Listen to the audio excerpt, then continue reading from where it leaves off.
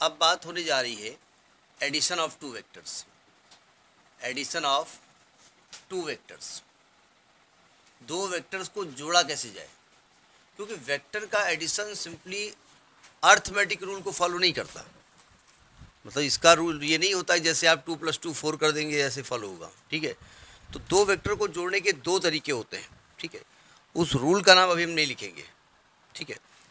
तब देखिए तरीका क्या होता है। अब हमको दो वेक्टर दिए जाएँगे। तो दो वेक्टर मतलब उसमें क्या दिया जाएगा? उसका मैग्नीट्यूड दिया जाएगा और उसका डायरेक्शन दिया जाएगा। मैग्नीट्यूड को दिखाने का तरीका क्या होता है? वो कहा लिखेंगे modulus A inside A in vector लिखेंगे वो। मैग्नीट्यूड होता है उसकी लंबाई। तो यानी कि हमने कहा सपोज़ करिएगा, इन्होंने दो वेक्टर दे दिए। ये वेक्टर ए दे दिया कुछ लंबाई इसकी होगी, जो भी इसकी लंबाई हो। और ये हॉरिजेंटल हमने ड्रॉ कर दिया। और एक वेक्टर हमने कहा कि हॉरिजेंटल से थीटा डिग्री बनाते हुए है बी ये दो वेक्टर दे दिए गए। और हमसे कहा गया, इन दोनों वेक्टर्स को ऐड करिए प्लस करिए। तो देखो तरीका क्या होता है। यानी आपको ए प्लस बी निकालना है। ए प्लस बी निकालना है। तरीका देखिए क्या होता है। अब अगर इस मान लेते हैं, मान लेते हैं कि ये फाइव यूनिट है। तो ये मान लेते हैं ये फोर यूनिट है। इक्वल टू ना लिखिए फोर यूनिट है। यानी कि इसकी लंबाई पाँच है और इसकी लंबाई चार है। यूनिट मतलब वो एक्सीलेशन हो सकता है फोर्स हो सकता है, जो भी हो सकता है। हम ऐड तो कैसे करेंगे। सबसे पहले आपको एक खींचना पड़ेगा। तरीका समझ लीजिए, क्योंकि तरीका इसका होता है। जो भी इसकी लंबाई हो, यानी हमने पाँच सेंटीमीटर की लंबाई का एक लाइन खींच ली। हमने मान लिया कि भाई ये वेक्टर जो दिया है, इसमें one unit is equal to one centimetre होता है। हमने फाइव सेंटीमीटर लंबी एक लाइन खींच ली। इसके बाद जहाँ से ए का हेड ख़त्म होता है, वहाँ से बी की टेल स्टार्ट हो। ध्यान से समझिएगा ज़रा। यहाँ बोर्ड पे लिखा हुआ है। जहाँ से ए का हेड ख़त्म होता है, वहाँ से बी की टेल स्टार्ट होती है। ठीक? लेकिन ए किधर है? हॉरिजेंटल डायरेक्शन में। और बी किधर है? हॉरिजेंटल से थीटा एंगल बनाते हुए। तो हॉरिजेंटल से थीटा एंगल बनाइए बनाइए। कैसे? ए को थोड़ा खींचे और ऐसे थीटा एंगल बनाते हुए ऐसे बी खींच दीजिए, ये थीटा अब आप कहेंगे, ये बताइए ए ऐसे बना दें हम, ठीक है? और थीटा ऐसे बना दें, चलेगा, नहीं चलेगा? थीटा तो भी है, ठीक है? जी नहीं। देखिए, ये एंगल क्लॉकवाइज है और ये एंगल एंटी क्लॉकवाइज है। क्लॉकवाइज एंगल नेगेटिव होता है, इसलिए ये वाला एंगल यहाँ पर नहीं चलेगा। एंगल एंटी क्लॉकवाइज ही बनाना पड़ेगा। अब बी बना दिया और बी की लंबाई हमने कितनी रखी है? फोर यूनिट चार सेंटीमीटर की लंबाई। दोनों जुड़ गए। ये हो गया दोनों का एडिशन अब ऐड करने के बाद में कुछ रिजल्टेंट आएगा ना तो उसमें क्या करते हैं? पहले वाले के टेल को लास्ट वाले के हेड से हम जोड़ देते हैं। R is equal to A plus B तो ये होता है दो वेक्टर्स को जोड़ने का तरीका। सबसे पहले ए को खींच दीजिए, जो भी ए की लंबाई हो, जो भी उसकी डायरेक्शन हो। मान हॉरिजेंटल है तो हॉरिजेंटल बना दिया हमने। फिर हॉरिजेंटल से जहाँ से ए की का हेड ख़त्म होता है, वहाँ से बी की टेल स्टार्ट हो जाएगी, ठीक है? और इस प्रकार से बी को खींचेंगे और पहले वाली के टेल को लास्ट वाले के हेड से जोड़ देते हैं। इस प्रकार से हम दो वेक्टर्स को ऐड करते हैं। ड्रॉ करिए इसको। अब देखिए, इसकी लेंथ आप मेजर कर लेंगे। अब मान लिया आप आप कहते हैं बी प्लस ए निकालना हम चाहते हैं। हम ए प्लस बी नहीं बी प्लस ए निकालना चाहते हैं। तो बी प्लस ए रखने का तरीका समझिए, कैसे करेंगे? सबसे पहले किसको खींचेंगे आप? बी को खींचेंगे, ठीक है? तो बी को कैसे हम खींचें? अब ज़रा समझिएगा। बी को हॉरिजेंटल से थीटा में लाते हुए बी खींच दीजिए। ऐसे बी खींचा जाएगा। अब यहाँ पर बी से कोई मतलब नहीं है। बी और ए हॉरिजेंटल है। तो इसमें मतलब बी से थीटा एंगल बनाते हुए कौन खींचा जाएगा? ए और थीटा किधर खींचा जाएगा? एंटी क्लॉकवाइज या क्लॉकवाइज अब ज़रा समझिएगा, अगर हम इसको ऐसे खींचें और एक बी को ऐसे खींच दें और ये थीटा बना दें तो ये बना सकते हैं? ये थीटा है, सही है? ये बी हम खींच रहे हैं। सॉरी ये ए हम खींच रहे हैं हॉरिजेंटल भाई, ये बी है और बी ये ए है। ए हॉरिजेंटल है और बी ए से कितना बना रहा है? थीटा तो क्या इस तरीके से थीटा सही है? थीटा की डायरेक्शन क्या है? तो क्लॉकवाइज हो सकता है। क्योंकि क्लॉकवाइज एंगल कैसा होता है? निगेटिव होता है। तो हम क्या करेंगे? इधर से एंगल बनाएँगे। ये हॉरिजेंटल ऐसे बनाएँगे। ये ये ऐसे एक खींचा जाएगा। ये एक खींचा गया है। इसमें थीटा क्या होगा? थीटा ये होगा। ये थीटा होगा ये ये थीटा होगा। ए और बी के बीच में एंगल थीटा है। ठीक? ये ए खींच देंगे और ये खींच गया। अब रिजल्टेंट क्या होगा? पहले वाले का टेल लास्ट वाले का हेड ये रिजल्टेंट होगा।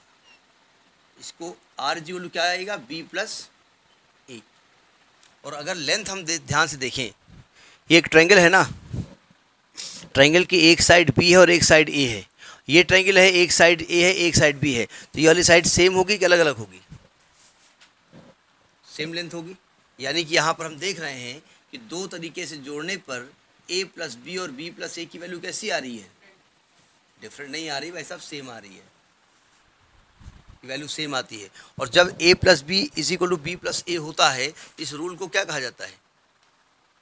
हमने इस नंबर सिस्टम में पढ़ा है कि अगर मान लिया दो number two plus three is equal to three plus two हो तो इस रूल को क्या कहते हैं? कॉम्पिटेटिव ला कहते हैं। ये कहलाता है? कॉमिटेटिव ला यानी vector addition follows vector addition follows commutative law commutative law तो ये आपका दो वेक्टर को जोड़ने का तरीका होता है। बहुत सारे क्वेश्चन आएँगे जहाँ दो वेक्टर्स होंगे, उन्हें वेक्टर मेथड से ऐड करना पड़ेगा, ठीक है? अगर मैं आपसे कहूँ ये पहला एग्ज़ाम्पल लेते हैं कि एक वेक्टर ये ए है। जब मैं आपको वेक्टर ए बोल रहा हूँ तो हम दो चीज़ें आपसे बोल रहे हैं। वेक्टर की डायरेक्शन बोल रहे हैं और वेक्टर का मैग्नीट्यूड बोल रहे हैं। और एक वेक्टर ये बी है। अब देखो, दोनों पैरेलल हैं नहीं है? ठीक है? और आपसे कहा गया कि आप इसका रिजल्टेंट वेक्टर यानी कि ए प्लस बी फाइंड करिए। वेक्टोरियली फाइंड करना है। वेक्टोरियली का मतलब ये नहीं होता है, इसकी लेंथ फाइव यूनिट है, इसकी सिक्स यूनिट है तो छः पाँच, ग्यारह कर दीजिए। ना, आप इनको ऐड करिए। बताइए ऐड कैसे करेंगे? दिमाग लाइए फिर हम ऐड करते हैं। तो देखिए क्या तरीका होगा। सबसे पहले आप क्या करेंगे? जिस डायरेक्शन में ए गिवन होगा, उसको खींच लेंगे। चलिए, हमने यहाँ पर ए खींच लिया। ठीक है? जो भी इसकी लंबाई होगी। फिर क्या करेंगे? जहाँ से ए की हेड ख़त्म होती है, वहाँ से बी की टेल स्टार्ट हो जाएगी। और उसी के पैरेलल भी खींच देंगे। ये बी बी खींच दिया हमने। और ये आपका जो होगा, यहाँ से यहाँ तक ये क्या मिल जाएगा?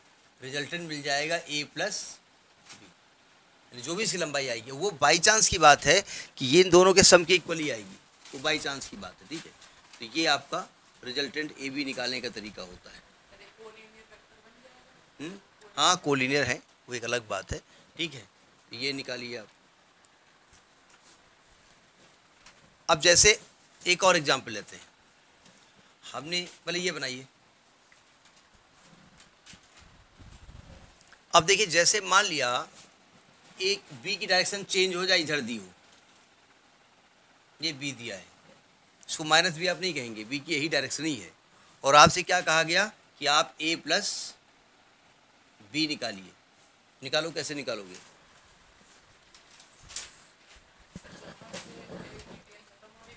पहले तो एक की टेल बाद में खत्म होगी ना, पहले तो ए खींचोगे आप। तो देखिए, पहले आप ए खींच लेंगे। देखो ए खींच लिया। ज़रा ध्यान समझिएगा। जहाँ से ए की ए का हेड ख़त्म होता है, जहाँ ए का हेड होता है टिप वहाँ पर बी की टेल तो हमने क्या किया? इस बी को उठाया और इसकी टेल ऐसे रख दी। रख दी? बी की डायरेक्शन है किधर?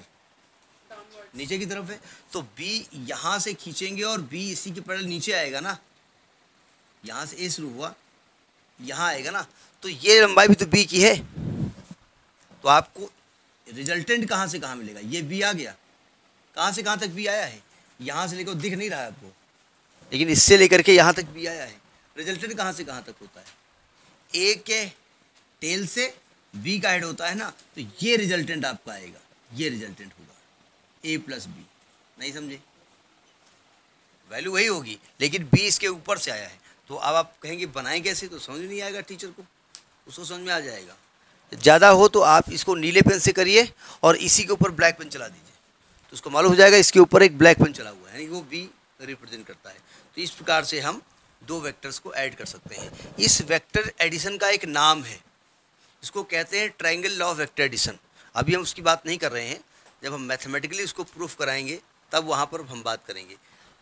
अब लिखिए addition of more than two vectors देखिए, दो से अधिक वेक्टर जोड़ने का तरीका क्या होता है समझ लीजिएगा। इसको हम कहते हैं पॉलीगॉन लॉ पहले वाला क्या था? ट्रायंगल लॉ क्या था वो? वो था ट्रायंगल लॉ वेक्टर एडिशन जो पहला वाला आप लिख रहे थे, दो वेक्टर को जोड़ना, उसको कहते थे ट्रायंगल लॉ वेक्टर एडिशन अब आपने कहा, वहाँ तो आपने बताया नहीं था। वहाँ जानबूझ नहीं बताया था। क्योंकि उसका रिजल्टन निकालने का जब हम फॉर्मूला बताएँगे, तब वहाँ बताएँगे। देखिए पॉलीगॉन ला कहते हैं। पॉलीगॉन नाम सुने हो ना? क्या होता है?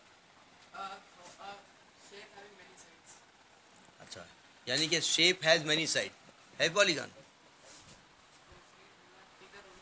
कंप्लीट फिगर किसे कहते हैं? इनकम्प्लीट फिगर बन गया फिगर क्लोज फिगर कहिए ना close figure close figure have many sides उसको हम कहते हैं पॉलीगॉन तुमने क्लोज नहीं बोला ना? तो polygon law of vector addition देखो, क्या तरीका होता है? मान लिया हमारे पास दो से अधिक वेक्टर्स हैं। उन्हें ऐड करना है। तो वेक्टर्स है मतलब क्या क्या गिवन होगा? दर्शन दी हुई होगी। हमने क्या किया? उन सभी वेक्टर्स को एक पॉइंट पे शो कर दिया। हमने कहा एक वेक्टर ए है, एक वेक्टर बी है, एक वेक्टर सी है एक वेक्टर डी है और भी हो सकते हैं ई e, एफ़ बहुत सारे हो सकते हैं। ये वेक्टर ए है जब हमको ऐड करने के लिए दिया जाएगा तो वहाँ वेक्टर दिया होगा। सी है एक वेक्टर डी है। अब इनको ऐड करना है। इनको हमने इन सभी वेक्टर्स को एक पॉइंट पे हमने शो किया है ठीक है? इसका वैसे तो नाम कहीं नहीं लिखा हुआ है लेकिन इसको स्पेस डायग्राम कहा जाता है। क्या कहते हैं इसको? स्पेस डायग्राम कहा जाता है। क्या कहा जाता है? कैन बोले रहो हम बताएँगे नहीं क्या कहा जाता है। क्या कहते हैं इसको? स्पेस डायग्राम कहते हैं। अब ज़रा समझिएगा। हमने कहा ए हॉरिजेंटल है, मान लेते हैं बी ए से बनाता है sixty degree angle B C से बनाता है फोर्टी फाइव और ये बनाता है थर्टी मान लेते हैं। मान लेते हैं। वो तो जब दिया होगा तब देखा जाएगा। अब देखो इसको ऐड करने का तरीका क्या होता है? ऐड करने का तरीका एक ही है। जिसमें से जिसको ऐड करना है, उसके हेड में से दूसरे का टेल उसी गिवन डायरेक्शन में ऐड कर देना। देखो ध्यान से। सबसे पहले आप क्या करेंगे? ए की जो लेंथ है उसको खींच दीजिए। हमने एक खींच दिया। जो भी लेंथ है। अब जहाँ से ए की ए का हेड खत्म होता है, वहाँ से कौन स्टार्ट होना है? बी की टेल और जो बी है, वो ए से कितना एंगल बनाता है? सिक्सटी डिग्री कैसे बनाएँगे? ए को थोड़ा सा एक्सटेंड करेंगे और एंटी क्लाइवर डायरेक्शन में हम 60 डिग्री एंगल बनाते हुए एक लाइन खींचेंगे। और इस, ये वेक्टर क्या होगा? बी इसकी कुछ लेंथ होगी। मान लेते ये आपके फोर्सेस लगे हुए हैं, ठीक है? मान लेते ये थ्री न्यूटन है ये फोर न्यूटन है, ये थ्री न्यूटन है, ये सिक्स न्यूटन है। तो हमने मान लिया कि one newton is equal to one centimetre तो हम इसकी उसी प्रकार से लंबाई करेंगे। तो अब देखिए, अब नियम क्या है? थोड़ा बी को और बढ़ा दो। अब नियम क्या है? जहाँ पे बी का हेड खत्म हुआ, होता है, वहाँ कौन शुरू हो जाएगा? सी क्योंकि बी में से सी ऐड करना है। बी और सी के बीच एंगल कितना है? 45 डिग्री तो हम क्या करेंगे? बी को थोड़ा एक्सटेंड करेंगे। वहाँ से 45 एंगल बनाते हुए एक लाइन खींचेंगे। ये हो जाएगा सी ये है 45 डिग्री जो भी सी की लेंथ होगी। अब ये ना कहना कि आपने तो ये थ्री सेंटीमीटर लंबी नहीं है, वो खींच लीजिए। तो आइडिया से खींच रहे हैं। अब सी में कौन ऐड होना है? डी तो सी से क्या करेंगे? सी से थर्टी डिग्री एंगल बनाते हुए ऐसे डी खींच देंगे। थर्टी डिग्री बनाते हुए डी खींच देंगे। सब खींच गए। बन गए सब। अब आपको रिजल्टेंट निकालना है। तो रिजल्टेंट क्या होता है? पहले वाले के टेल को सॉरी हाँ टेल को लास्ट वाले के हेड से ऐड कर देते हैं। तो this is resultant R value क्या होगी? A plus B plus C plus T इसका मतलब three plus four plus three plus six नहीं। जो इसकी लंबाई नाप करके आएगी, ठीक है? अच्छा ये रिजल्टेंट ए से कुछ एंगल बनाएगा ना तो ये डायरेक्शन ऑफ़ रिजल्टेंट हो जाएगी कि रिजल्टेंट की वैल्यू इतने यूनिट और वो ए के साथ इतने डिग्री का एंगल बना रहा है। तो इस प्रकार से रिजल्टेंट का हम डायरेक्शन भी निकाल सकते हैं और रिजल्टेंट का हम मैग्नीट्यूड भी निकाल सकते हैं, ठीक है? देखिए दो वेक्टर को सब्ट्रैक्ट कैसे करते हैं? एक्चुअली में सब्ट्रैक्शन कोई भी मैथमेटिकल ऑपरेशन होता ही नहीं। बोले, अरे, हम लोग एडिशन सब्ट्रैक्शन मल्टीप्लिकेशन डिवीज़न पढ़े हैं, बता रहे सब्ट्रैक्शन कुछ होता ही नहीं जी नहीं। अगर हम कहें, भाई, दो और तीन को माइनस कर रहे हैं तो आपने कहा दो और माइनस तीन को प्लस कर रहे हैं। बात वही है। तो वही समझ लीजिएगा कि अगर दो वेक्टर को ऐड करना है तो हम क्या करेंगे? दूसरे वेक्टर अगर माइनस करना है तो दूसरे वेक्टर को नेगेटिव करके उसको ऐड कर देंगे। क्या तरीका होगा? देखिए इसका। हमने पहले दो वेक्टर कहीं मान लिए। हमने कहा ये वेक्टर ए है। अब ए है मतलब इसका मैग्नीट्यूड दिया होगा और इसकी डायरेक्शन दी हुई है, ठीक है? और ए से थीटा एंगल बनाते हुए एक वेक्टर बी है। थीटा एंगल बनाते हुए एक वेक्टर बी है। और हमसे कहा गया, इन दोनों वेक्टर को सब्ट्रैक्ट करिए। तो हमने कहा अच्छा हम ऐसा करते हैं ए और माइनस बी को क्या कर दें? ऐड कर दें? ये हम करने जा रहे हैं। अच्छा आप माइनस बी जानते हैं कि जो भी बी की डायरेक्शन है, उसका एरो चेंज कर दीजिए, नीचे कर दीजिए, माइनस बी हो जाएगा। मतलब ये जो बी बना हुआ है, ये हॉरिजेंटल से ऊपर की तरफ़ तो ऊपर की बजाय अगर ऐसे जाना है बी को तो ऐसे बजाय अगर नीचे आ जाए थीटा यही रहेगा। तो ये क्या बन जाएगा? माइनस का बी बन जाएगा। ठीक है? इसको करेंगे कैसे? सबसे पहले हम क्या करेंगे, हम ए खींच लेंगे। Of given direction and given measurement ठीक है? ए से थीटा एंगल बनाते हुए अपनी स्केल रखेंगे। मतलब स्केल इधर रखी हुई है। और हम हम नियमता ये ऐसे बनना चाहिए वाली। और ये एंगल कितना होना चाहिए? थीटा लेकिन हम क्या करेंगे स्केल तो इधर रखेंगे। बाद में ऐसे न खींच के इसी को हम क्या कर देंगे कर देंगे। इसको हम पीछे की ओर पलट देंगे। ये माइनस बी हो जाएगा। बन गया? मतलब हम प्लस सी भी कर रहे हैं। जिधर बी को जाना चाहिए था, उधर न करके बस उसी को हमने रिवर्स कर दिया उठा करके। और ये आपका रिजल्टेंट हो जाएगा। क्या ए प्लस बी हम खींचते तो यही वैल्यू मिलती ना मिलती? जो ए माइनस बी की मिल रही है रिजल्टेंट वही मिलेगा आपको।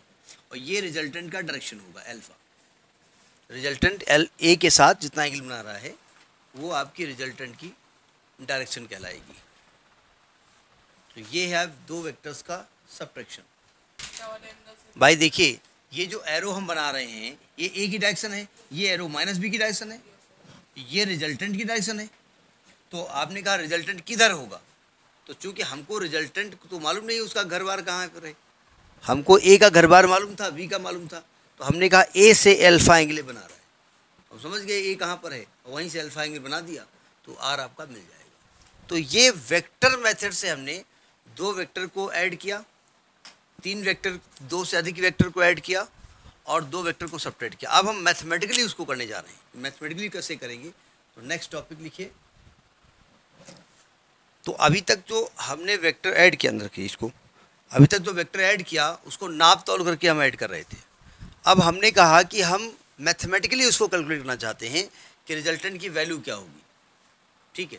तो दो नियम हैं। उन दो नियमों को बताने के पहले हम डायग्राम समझाएँगे, तब नियम बताएँगे। तो नंबर वन है triangle law of vector addition number one है ट्राइंगल लॉ ट्राइंगल ऐसे बना दें।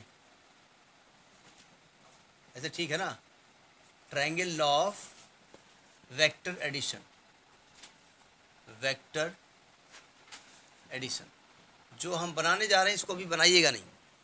और जो हम लिखने जा रहे हैं, वो अभी लिखवा नहीं रहे हम। पहले समझा देंगे हम लिखवा, लिखवाएँगे क्या? देखो, अगर दो वेक्टर्स को ऐड करते हैं तो कैसे ऐड किया जाता है? तो हमने कहा, भाई, ये जब मान लिया एक वेक्टर ये ए है और ये वेक्टर मान लिया बी है और ए हॉरिजेंटल है और बी जो है, वो ए से थीटा एंगल बनाता है। और अब वेक्टर है मतलब क्या है इसमें? डायरेक्शन है और मैग्नीट्यूड है, यानी उसकी कुछ लेंथ दी होगी, उसी को डायरेक्शन दी होगी। इसको ऐड कैसे करते हैं आप? सबसे पहले आप ए खींच लेते हैं। बाद में जहाँ से ए का हेड खत्म होता है, वहाँ से थीटा एंगल बनाते हुए बी खींच लेते हैं। ठीक है? जहाँ से इसका हेड खत्म होता है, वहाँ से दूसरे की टेल स्टार्ट होगी। यानी हम कह रहे हैं कि वेक्टर एक ऑर्डर में चल रहे हैं। जैसे आपने स्पाइडरमैन देखा ना, वैसे करता है, फिर वैसे निकलता जाता है एक ऑर्डर में उसकी।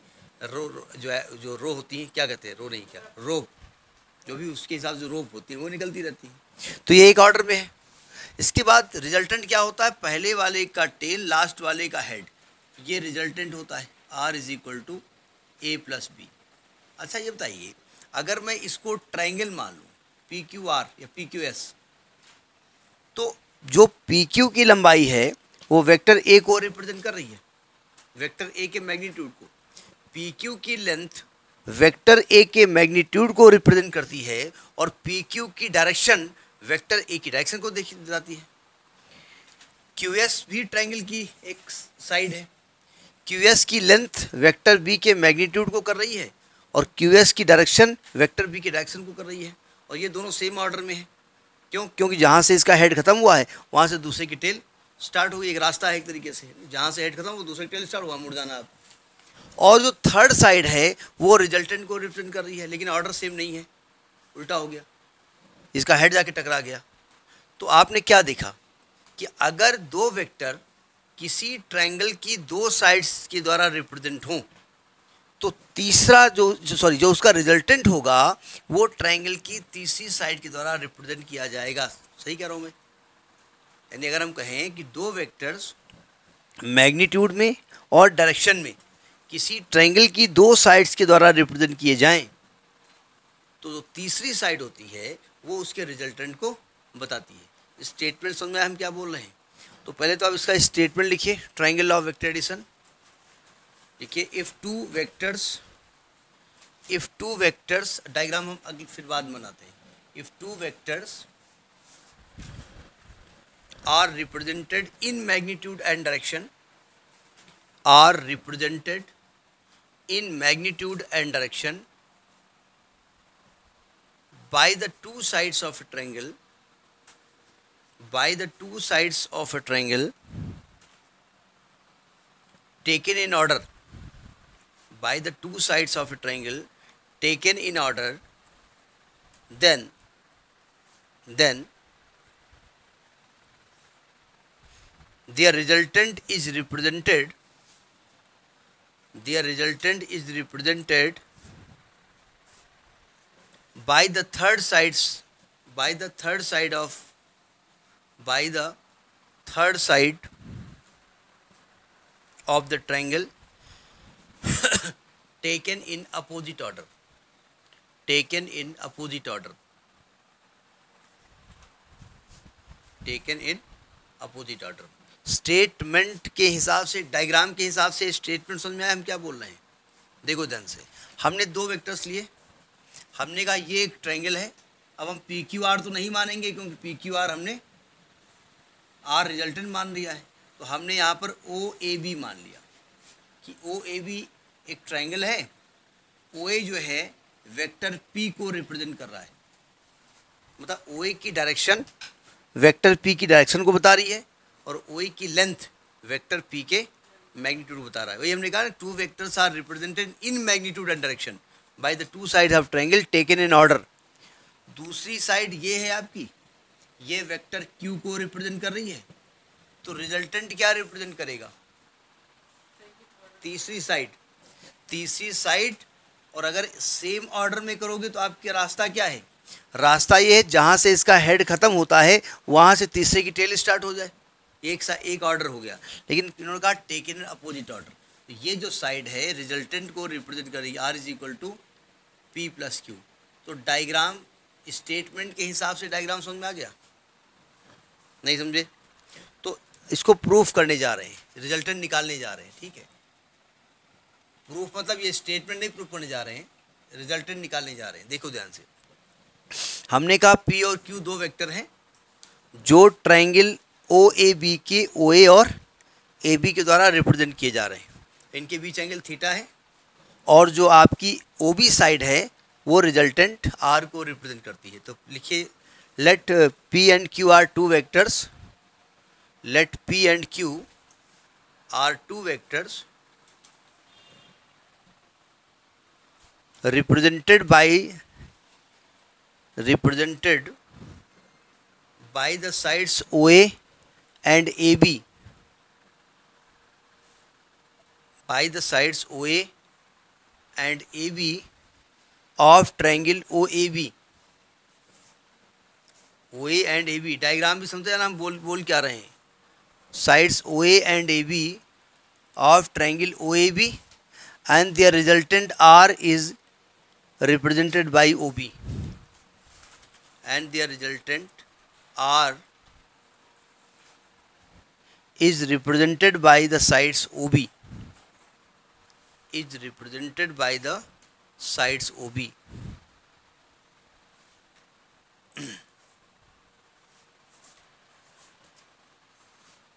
and let theta be the angle between P and Q and theta be the angle between P and Q. अब जरा समझिएगा हेडिंग क्या कह रही है हेडिंग कह रही है एनालिटिकल मेथड से जोड़िए एनालिटिकल मतलब समझ लीजिएगा। एनालिटिकल मतलब मैथमेटिकली यानी आपको वेक्टोरियली इसको नहीं प्लस करना है, इसकी लंबाई नाप के नहीं लिखनी है मैथमेटिकली एक फॉर्मूला बनाना है। सावधान। देखो, अगर मैं कह रहा हूँ पी और क्यू के बीच एंगल थीटा है तो बनाने का तरीका क्या होता है? इसको आगे बढ़ाते हैं, यही थीटा बनाते हैं ना? हम्म? अच्छा ज़रा ध्यान से समझिएगा। यानी ओ ए की लंबाई क्या है? पी का मैग्नीट्यूड हम पी लिखेंगे केवल, यहाँ वेक्टर नहीं चढ़ाएँगे। और जब केवल पी लिख देंगे तो अंडरस्टूड है, हम पी का क्या ले रहे हैं? मैग्नीट्यूड अगर यहाँ से हम परपेंडिकुलर खींच दें ए बी सी तो कोई दिक्कत है? आपको एक राइट एंगल ट्रायंगल दिख रहा है। यानी हमने क्या किया? यहाँ पर एक परपेंडिकुलर खींचा है draw B C perpendicular to O कोई दिक्कत? आपको यहाँ राइट एंगल ट्रायंगल दिख रहा है? तो यहाँ पर अगर हम पाइथागोरस थ्योरम लगाएँ तो ओ बी की वैल्यू निकाल सकते हैं। O B square is equal to O C square plus B C square और ओ सी क्या है? रिजल्टेंट है। तो रिज़ल्ट हमने क्या बोला? ओ बी है। अच्छा वो मैं तो ऐसे बोल रहा था। अच्छा इधर बी है। ओ बी क्या है? रिजल्टेंट है। निकल आएगा रिजल्टेंट अब ठीक है। लेकिन इस ट्रायंगल को खींच तो दिया हमने। कौन सी साइड हमको मालूम नहीं है? हमको ए सी नहीं मालूम, हमको बी सी नहीं मालूम। लेकिन हमको ए बी मालूम है। तो इस ट्रायंगल में अगर हम साइन थीटा लगा दें, यह साइड निकल आएगी। अब हमारा वेक्टर से कोई मतलब नहीं है। वेक्टर के हिसाब से डायग्राम बन चुका है। देखिए, in triangle A B C अगर इसमें हम कॉस थीटा लगा देते तो कॉस थीटा हमने क्या पढ़ा है? बेस अपान हैप्टन्यूज बेस को डिसाइड करने का तरीका क्या होता है? किसी ट्रायंगल में 90 डिग्री के सामने के साइड को हैप्टन्यूज कहते हैं थीटा के एंगल थीटा के सामने की साइड को परपेंडिकुलर और थर्ड साइड को बेस यानी यहाँ बेस क्या हो जाएगा? ए सी और हैप्टन्यूज क्या हो जाएगा? ए बी तो अगर हम ए सी की वैल्यू निकालें तो ए बी कॉस थीटा आएगा. ए बी की लंबाई कितनी है? ए बी की लंबाई कितनी दिख रही है? क्यू है ना? क्यू का मैग्नीट्यूड ही तो भी है. तो हमने क्यू कॉस थीटा लिख दिया. अब चूँकि क्यू पे वेक्टर नहीं चढ़ा हुआ है, इसका तो हम क्यू का क्या लिख रहे हैं? मैग्नीट्यूड लिख रहे हैं। निकल आई। अब कौन सी साइड चाहिए आपको? B C in triangle triangle तो दे ही दिया आपने। एंड साइन थीटा ले लो। तो साइन थीटा इज़ क्या होता है? Perpendicular B C upon B C upon अरे बी सी अपान क्या है? हमने बेस तो बोला नहीं। ए बी तो बी सी की वैल्यू क्या निकलेगी? A B sine theta A B बोले तो क्यू साइन थीटा अब बताइए, इस राइट ट्रायंगल ट्रायंगल में सब साइड्स मालूम हो गई? अब पाइथागोरस थ्योरम अप्लाई कर सकते हैं। अप्लाई कर दो किस ट्रायंगल में? जिसमें आर है। In triangle O B C तो O B square is equal to O C square plus A C B C square लिख सकते हैं। ओ बी क्या है? रिजल्टेंट का स्क्वायर है। क्या ओ सी की वैल्यू आपको मालूम है? ओ सी मालूम है आपको? कहाँ मालूम है। यानी कि आपको ओ सी नहीं मालूम है, ओ ए और ए सी टुकड़े में मालूम है। तो ओ सी को क्या ले सकते हैं? O A plus A C का स्क्वायर प्लस बी सी का square R square is equal to देखिए ओ ए क्या है? ओ ए की ओ ए मतलब ओ ए की लंबाई क्या है? तो ओ ए की लंबाई है पी प्लस ए सी क्या है? क्यू कॉस थीटा का होल स्क्वायर और ये क्या है? क्यू साइन थीटा का। यहाँ तक पहुँचे, फिर इसका रिजल्टेंट निकालते हैं।